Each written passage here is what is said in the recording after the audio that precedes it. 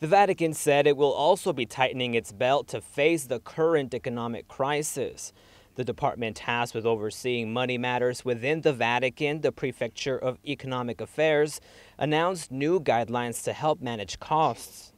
With these guidelines, we are giving back on behalf of the superior authority the original rule for the Prefecture of Economic Affairs, as was the will of Pope Paul VI.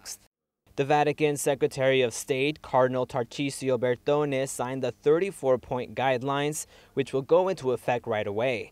The measures aim to reduce costs in a gradual and effective manner. It also redefines the role of the Prefecture of Economic Affairs in relation to other departments within the Vatican. Effective immediately, any of the prefecture's caps on oversight and control are capped and granted powers to administer costs. We wanted to be clear, to have a truthful picture of the Holy See, to have not just two account balances, but four. They remain the same, the account balances for Vatican City and the Curia.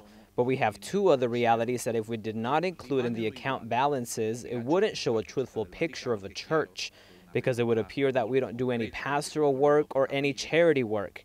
And that is not the case. The biggest account balance for the Holy See is its charity work. It's the money that the faithful send the Pope and that he distributes. The document also addresses the budget and balance cuts that Vatican City will carry out, which will be managed jointly this time around.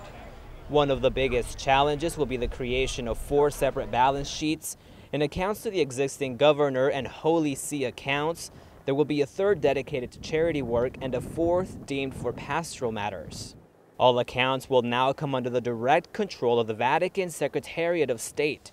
The latest figures available from 2010 showed a joint budget of 210 million euros. The inspections of the Vatican completed by Moneyval and AIF served as references to also apply European norms on money laundering.